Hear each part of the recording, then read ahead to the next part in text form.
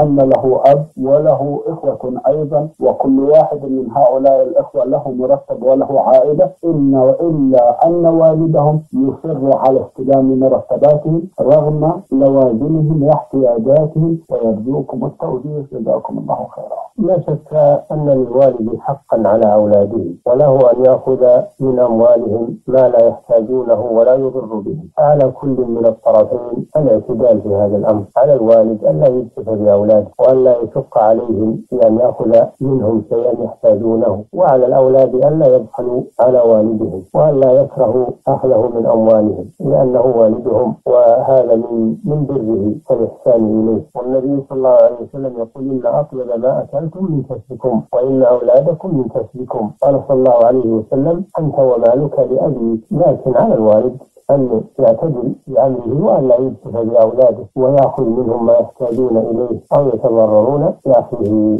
نعم. جزاكم الله خيرا وأحسن إليكم.